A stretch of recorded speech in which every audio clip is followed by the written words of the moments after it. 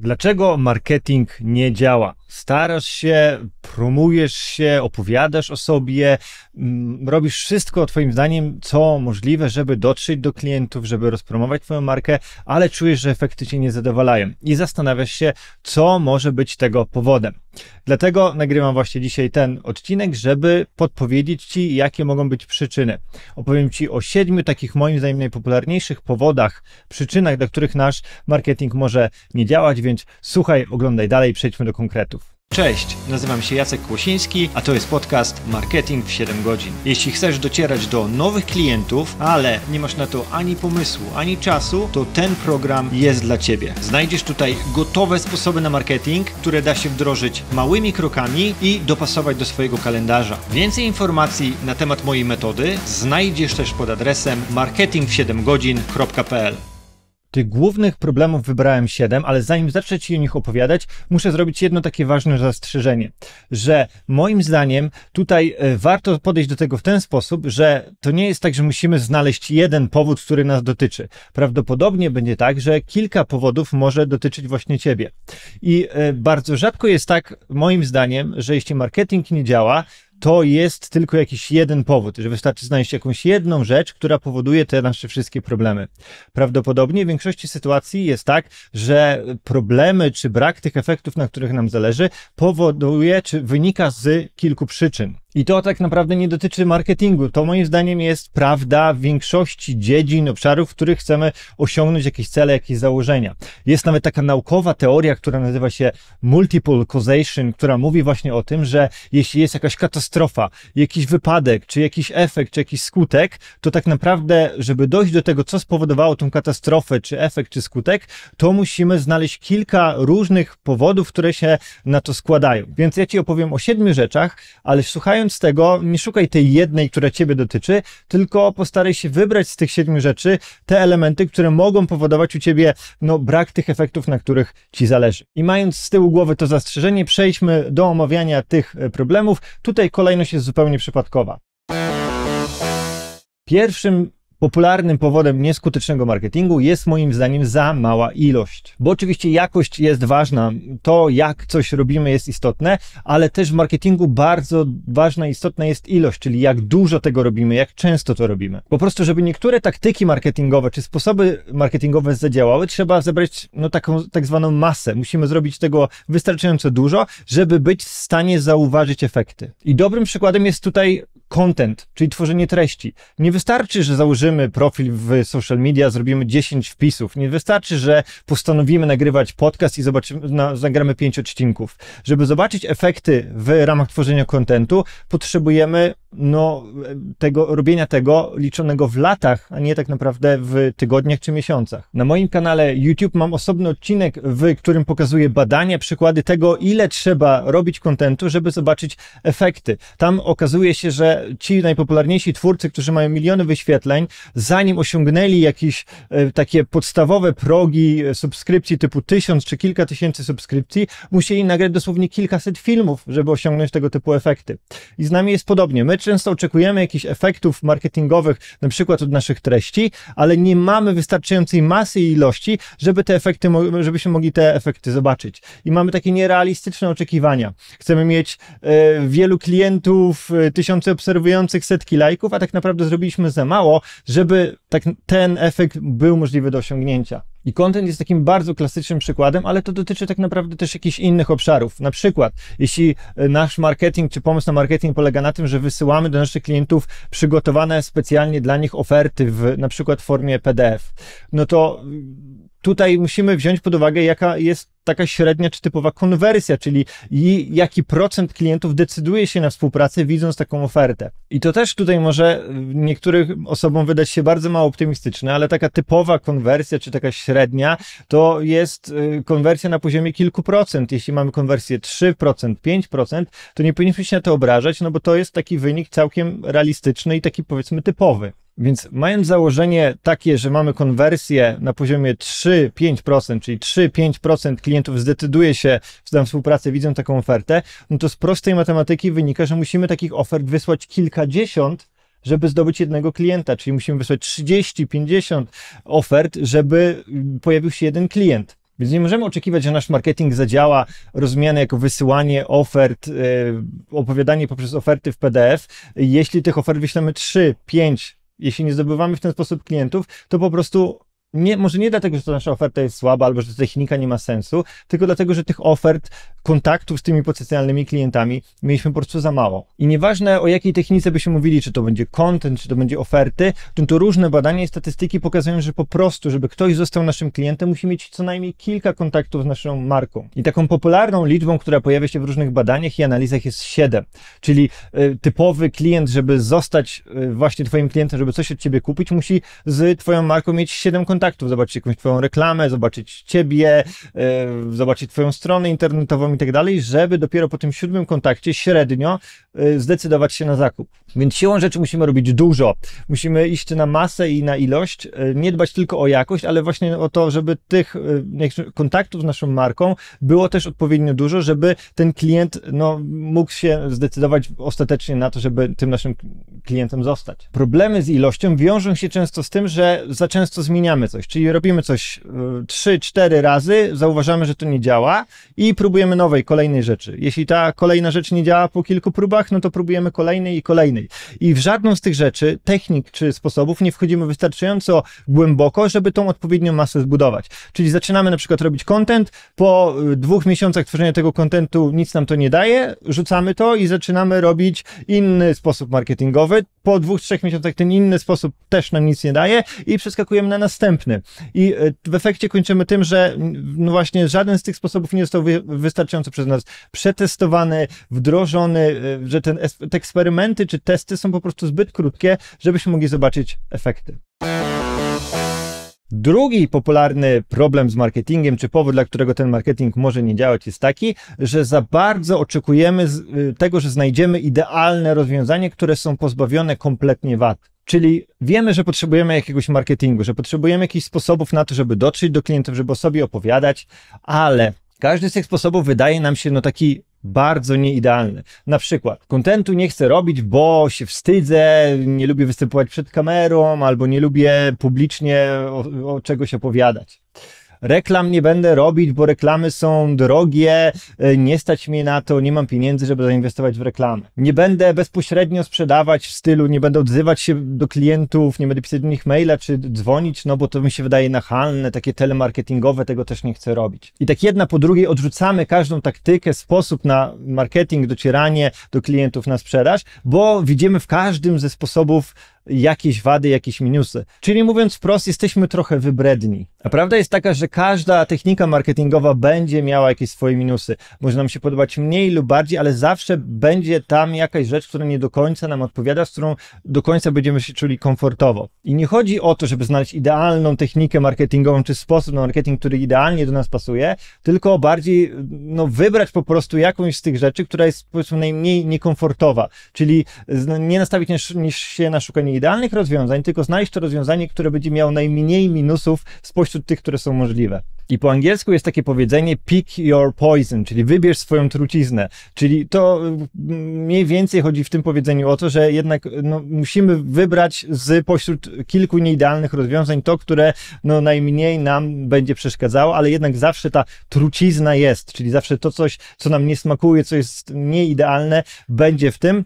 Y, nie, to jest moim zdaniem nierealistyczne założenie oczekiwać, że znajdziemy taką super technikę marketingową, która pasuje do naszej osobowości, do naszej naszej branży, e, do naszego stylu, do naszego budżetu i tak dalej. Zawsze trzeba będzie iść na jakiś kompromis, żeby znaleźć jakąś technikę marketingową, która no po prostu, w którą się zaangażujemy i która będzie działała w naszej sytuacji. Trzeci powód nieskutecznego marketingu jest taki, że skupiamy się tylko na jakimś wycinku tego marketingu. Czyli na przykład uznajemy, że będziemy prowadzili konto na Instagramie i to będzie nasz marketing. I nie obchodzi nas to, co dzieje się przed tym, że ktoś trafia na nasze konto na Instagramie, ani też za bardzo nie pracujemy nad tym, co dzieje się potem. Skupiamy się na tym Instagramie i mamy wrażenie, że jeśli będziemy mieli mnóstwo obserwujących albo dużo lajków, to reszta marketingu załatwi się sama. I o tym mówię dużo szerzej w trzecim odcinku tego podcastu. Pokazuję tam y, szerszą perspektywę i porównuję w pewnym sensie marketing do procesu, do jakiejś ścieżki, która ma kilka różnych etapów i wydaje mi się, że tak też powinniśmy do tego podejść. Bo w marketingu nie wystarczy dobrze zrobić przeważnie jednej rzeczy. Marketing to jest kilka różnych elementów, kroków. Marketing to jest taki proces i trzeba zadbać o wszystkie te elementy, czy wszystkie te etapy tego procesu, żeby to zadziałało. I bardzo często jest tak, że ten marketing nie działa, no bo właśnie my dobrze ogarnęliśmy jeden, dwa czy trzy elementy tego procesu, ale czwarta, piąta, szósta czy dziesiąta rzecz tego procesu nadal jest gdzieś tam przez nas albo niezauważana, albo zrobiona nieidealnie, przez to ten cały system no po prostu nie ma szans zadziałać. Czwarty powód nieskutecznego marketingu jest taki, że skupiamy się za bardzo na sobie, to znaczy nie rozmawiamy z odbiorcami, y, nie robimy jakichś badań, ankiet, nie słuchamy klientów y, tego, co mają nam do powiedzenia, tylko uznajemy, że my sami musimy wymyśleć, jak ma wyglądać ten nasz produkt, jak o nim opowiadać, że to my jesteśmy tutaj e, takim inicjatorem tego wszystkiego, a tak naprawdę dużo skuteczniej i łatwiej robi się to, kiedy odbiorcy powiedzą nam, czego chcą, czego potrzebują, jakim językiem mamy opowiadać o tym temacie, więc brak tych kontaktów z odbiorcami, brak świadomego pytania, e, jakichś analiz, rozmów z odbiorcami jest też powodem, dla którego ten marketing może nam nie wychodzić. Bo my bardzo często uznajemy, że rozumiemy klientów, że wiemy, czego oni chcą, że, my, że to my lepiej znamy się na naszej dziedzinie, że klient nie będzie nam mówił, jak mamy wykonywać naszą pracę i tak dalej. Czyli mówiąc szczerze, w, do gry dochodzi tutaj często nasze ego że my uznajemy, że klient to jest ta osoba, która ma się dostosować do tego, jaki my mamy pomysł, jaką mamy wizję realizacji jakiejś usługi, czy jak ma, tego, jak ma wyglądać jakiś produkt i szukamy osoby, które chcą kupić tą wizję.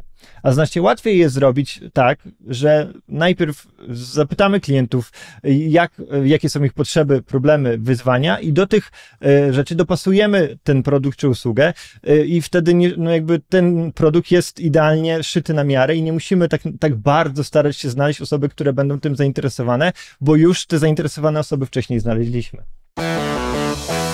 Piąty powód niedziałającego marketingu jest to, że ty w ten marketing po prostu nie wierzysz. To znaczy nie lubisz tego, zmuszasz się do tego, uważasz, że marketing to jest coś złego albo coś, co jakby nie do końca do ciebie pasuje i tak dalej. I bardzo trudno jest, żeby coś nam wychodziło, kiedy do do jakiej rzeczy podchodzimy w ten sposób, prawda? Nasze nastawienie, czy to, co my myślimy o danej rzeczy, jest podstawą tego, żeby coś nam dobrze wychodziło. Jeśli wychodzimy z negatywnymi założeniami, mamy jakieś niewspierające przekonania albo ograniczające przekonania na temat marketingu, czy nas samych w ramach marketingu, no to siłą rzeczy już ta wyjściowa e, sytuacja skazuje nas w pewnym sensie na porażkę. No bo jeśli my sami uważamy, że czegoś nie umiemy, nie lubimy i coś nam nie wychodzi, no to jak ma nam później to wychodzić, prawda? A niestety prawda jest taka, że jeśli prowadzisz mały biznes, to ten marketing będzie zawsze takim ważnym elementem tego biznesu. Marketing to jest jeden z najważniejszych obszarów małego biznesu i wpadłem na takie proste porównanie, że jeśli masz małą firmę, ale nie lubisz marketingu, to jest trochę tak, jakby zapisać się na basen, ale nie lubić wody i nie lubić pływać można iść na basen, ale nie lubić pływać i nie lubić wody, ale to nie będzie przyjemne, prawda? Tak samo, jeśli nie lubisz marketingu, musisz się do tego zmuszać, to prowadzenie małej firmy, no nie będzie przyjemne. I oczywiście możesz uważać, że marketing zlecisz, komuś oddelegujesz, że, nie musi, że dojdziesz do takiej sytuacji, w której nie będziesz musieć się tym przejmować, ale wydaje mi się, że to jest takie zbyt optymistyczne też założenie. Bo pewnie można zlecić jakieś rzeczy związane z marketingiem, takie operacyjne, możesz zlecić komuś projektowanie postów na, e, na social media, możesz zlecić komuś pisanie newslettera, możesz komuś zlecić napisanie tekstów na twoją stronę i tak dalej, ale ten taki strategiczny marketing, ten cały taki ogólny pomysł, to jak ta firma twoja ogólnie ma się pozycjonować, jaką ma mieć strategię budowania tego wizerunku, czy docierania do klientów i tak w dużej części musi wynikać od ciebie, e, wynikać z, czy wychodzi z twojej strony, albo przynajmniej ty musisz być w to zaangażowany albo zaangażowany. Nawet jeśli komuś będziesz próbować to zlecić, to ta osoba i tak będzie potrzebowała po prostu informacji od ciebie, żeby zrobić to dobrze. Więc prowadząc małą firmę, nie da się uciec od tematu marketingu. Musimy mieć na ten temat jakąś wiedzę jak duża ona ma być, no to tutaj oczywiście zależy, ale no jakby oczywiście nie trzeba być wielkim specjalistą marketingowym, nie trzeba robić z marketingu swojego drugiego etapu, żeby, etatu, żeby to zadziałało, ale z drugiej strony no nie możemy tego tematu zupełnie odrzucać. Nie możemy twierdzić, że marketing to nie jest coś dla nas, że w ogóle nie chcemy się tym interesować, rozwijać w tym obszarze, no bo prowadząc małą firmę, w pewnym sensie zapisujemy się na to, w cudzysłowie, że ten marketing będzie takim tematem, którym musimy się zajmować. Szósty punkt, taki dosyć dosyć, można powiedzieć, kontrowersyjny jest taki, że mamy za małą jednak jakość tego, co robimy w ramach marketingu. I ja sobie zdaję sprawę, że mówienie wam albo komuś po prostu, że robi coś za słabej jakości albo za słabo, to jest tak jakby mówić komuś, że ma brzydkie dziecko. No nikt tego nie chce usłyszeć, prawda? I to brzmi bardzo mocno i bardzo brutalnie, ale mówię to, może, może już mogę tak powiedzieć, że mogę to nawet powiedzieć już ze swojego doświadczenia. To znaczy, nawet patrząc na swoje jakieś wcześniejsze, sprzed wielu lat materiały, to jak prowadziłem marketing i co y, wiem teraz na temat marketingu i jak oceniam te materiały, no to widzę, że to po prostu nie mogło zadziałać, bo to było często zbyt po prostu niskiej jakości. Niskiej jakości rozumianej w szerokim kontekście, że było to źle zakomunikowane, źle zaprojektowane, źle pomyślane, niedopasowane do odbiorców i tak dalej. I oczywiście zdaję sobie sprawę, że łatwo teraz powiedzieć, no dobra, mam niską jakość, ale jak to ocenić albo jak to poprawić. I wydaje mi się, że to będzie po prostu najlepszym sposobem na to jest po prostu się rozwijanie w tym temacie.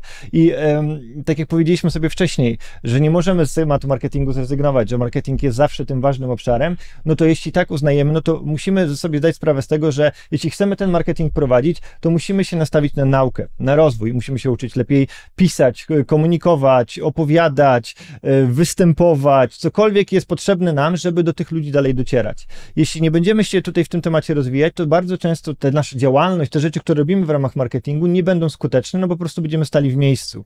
I w tym całym szumie konkurencji, ilości różnych e, komunikatów, z którymi się spotykają nasi klienci, my po prostu zginiemy i będziemy niezauważeni, no bo po prostu nie będziemy mieli wystarczającej jakości, która się będzie na tym wszystkim przebijać, czy pośród, wśród tego wszystkiego się będzie przebijać. I tym, co ja chcę tutaj powiedzieć, e, chyba jest to, żebyśmy też częściej schowali tutaj swoje ego i nie uważali, że klienci są głupi, nie doceniają, że robimy coś fajnie, a oni przechodzą koło tego obojętnie, jak oni tak mogą, prawda?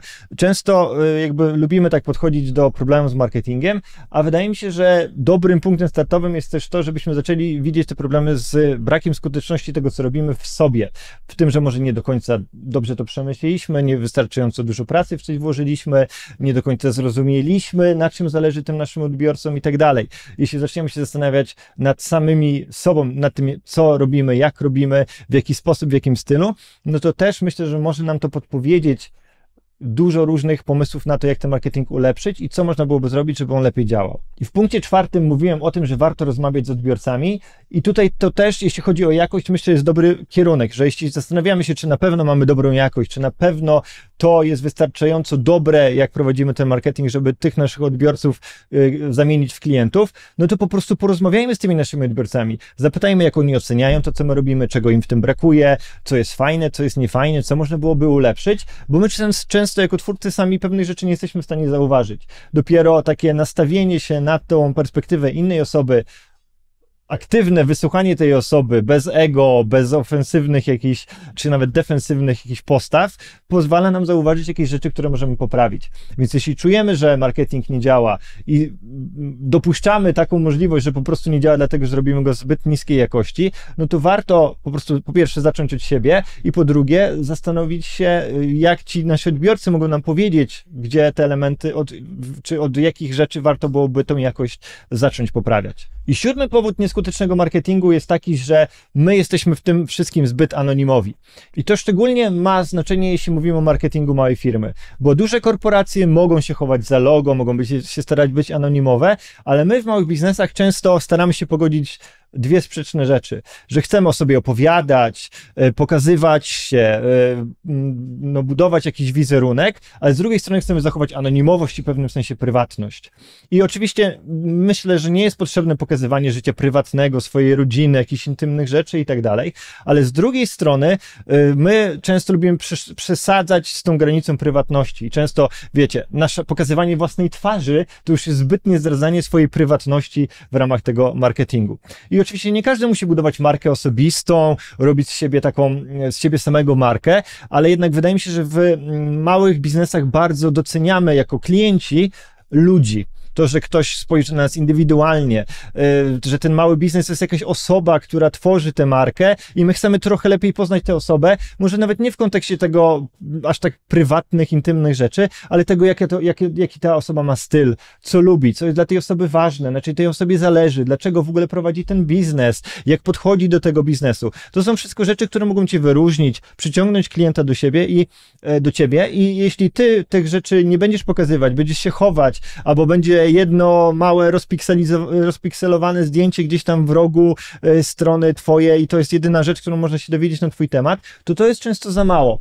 I to sprawia, że ten klient jakby nie zaufa ci. E, ma wrażenie, że to jest coś anonimowego, że widzi inne podobne biznesy, które mm, robią podobne rzeczy, ale tam właśnie ma szansę poznać twórcę, ten twórca buduje z tą odbiorcą jakąś relację, buduje się jakieś większe zaufanie, to zawsze ten klient wybierze kogoś, gdzie, że widzi osobę z krwi i kości, gdzie może tą osobę najpierw poznać, zobaczyć, jaki ta osoba ma styl, a te e, firmy anonimowe, które się kryją za jakimś małym zdjęciem albo w ogóle tego zdjęcia nie pokazują, w ogóle nie pokazują twórców, nie pokazują swojego zespołu, no to ci klienci dużo mniej chętnie będą w stanie y, odważyć się na współpracę z taką firmą. Ok, i to było siedem takich moim zdaniem najpopularniejszych powodów, dla których ten marketing może nie działać i w ramach podsumowania pomyślałem, że mogę zrobić z tego taką antylistę, czyli powiem Ci o siedmiu rzeczach, jakie powinnaś albo powinieneś robić, jeśli chcesz, żeby twój marketing nie działał. Czyli e, to odwrócimy teraz trochę kolejność i zobaczysz, e, no, jaki jest przepis na na pewno niedziałający i nieskuteczny marketing. Po pierwsze, rób mało i szybko zmieniaj. Czyli jeśli jakaś taktyka nie działa po tygodniu albo po miesiącu, to od razu ją odrzucaj i próbuj czegoś nowego. Po drugie, szukaj rozwiązań, które nie mają wad i idealnie pasują do ciebie pod każdym względem. Po trzecie, skupiaj się tylko na jednym jakimś małym, wąskim wycinku marketingu i nie przejmuj się tym, co dzieje się przed albo potem. Po czwarte, nie słuchaj swoich klientów, nie pytaj ich o zdanie i absolutnie nie staraj się do tego dopasować. Po piąte, marketing traktuj jako coś, do czego się nie nadajesz i czego bardzo nie lubisz. Po szóste, uznaj, że masz super jakość i niczego nie poprawiaj. Jeśli coś nie działa, to uznaj, że to jest wina klientów, którzy nie potrafią tego docenić. Po siódme, nie pokazuj się od ludzkiej strony, staraj się zachować anonimowo, traktuj pokazywanie swojej twarzy jako prywatność, którą musisz za wszelką cenę chronić. No i przyznaj, że jeśli słuchasz tego podsumowania, tego antyprzepisu na marketing, no to coś jest na rzeczy, że to brzmi tak, jakby faktycznie to nie miało szans działać. Więc być może jakieś dwa, trzy, cztery powody tutaj mniej lub bardziej ciebie też dotyczą. Warto spojrzeć na tę listę z dystansem, e, obiektywnie, z chłodną głową i zastanowić się, czy faktycznie w ramach jakichś tych e, elementów, no, moglibyśmy coś poprawić, coś zmienić, żeby, żeby jednak miało szansę to u nas lepiej zadziałać. Mam nadzieję, że ta lista Cię zainspiruje albo pokaże Ci jakieś kierunki do myślenia w kontekście ulepszania tego swojego marketingu. Ode mnie dzisiaj to tyle. Słyszymy się, widzimy się w następnych odcinkach. Cześć, trzymaj się, powodzenia. Dziękuję Ci za odsłuchanie tego odcinka. Na koniec tylko przypomnę, że jeśli zainteresowała Cię moja metoda Marketing w 7 godzin, to więcej informacji na jej temat znajdziesz pod adresem marketing7godzin.pl.